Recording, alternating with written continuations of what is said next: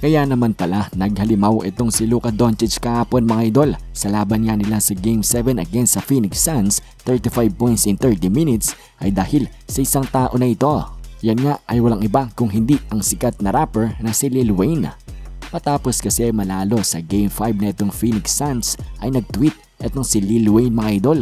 Tinawag nga na ho itong si Luka Doncic.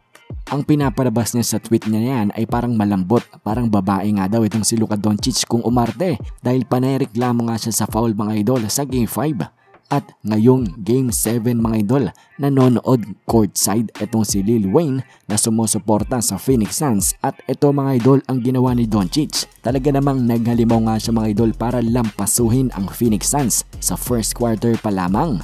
Kaya nga dapat maging aral na nga daw ito mga idol sa mga NBA fans pati na rin kala Devin Booker at kay Chris Paul na hindi nga daw dapat trash talkin itong si Luka dahil capable nga daw mga idol sa mga ganitong games itong si Luka Doncic. At sa ating next balita ay pag-uusapan nga natin ang balita kay Lonzo Ball. Ibinalita nga ng Chicago Bulls ay merong serious concern about nga sa injury neto ni Lonzo sa kanyang tuhod. Sa New Orleans pa lamang mga idol ay meron na siyang ganitong injury at hanggang ngayon ay nagpapatuloy pa ito sa kanyang bagong team na Chicago Bulls. At kaya naman concern mga idol ang team ng Chicago sa kanyang kalagayan sa kalagayan ng kanyang tuhod. Dahil ayaw siguro nilang masayang ang kanilang ibinayad dito kay Lonzo kung hindi naman makakapaglaro. Kaya naman mga idol kapag nagpatuloy nga ang injury ni Lonzo sa kanyang tuhod, siguradong ang concern ng Chicago Bulls mga idol ay magre-resulta nga sa pagkokonsidera nila mga idol sa pag-trade nga sa kanilang point guard.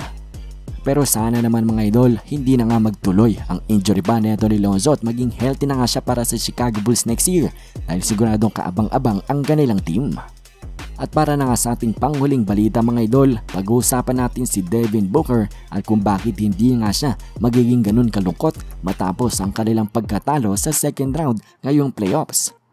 Nabalita kasi mga idol na kapag nga daw etong si Devin Booker ay napasali sa kahit anong All-NBA team, first, second or third man yan ay eligible na nga siya mga idol sa pinakamalaking contract extension sa history nga ng Phoenix Suns kung saan magkaaroon nga siya ng 4-year 211 million na Supermax extension.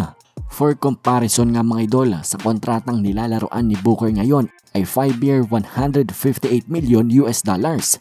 Walang wala yan mga idol sa 4-year 211 billion. Kaya naman mga idol, sigurado yan, hindi na magiging ganun kalungkot si Booker kapag nga nagkaroon siya ng ganitong kalaking kontrata 11 billion pesos lang naman ang kanyang kikitain mga idol sa apat na taon niya na paglalaro sa NBA. At yan nga lamang din muna para sa ating mga balitang NBA ngayon. Maraming ang salamat sa inyong panonood. Bye!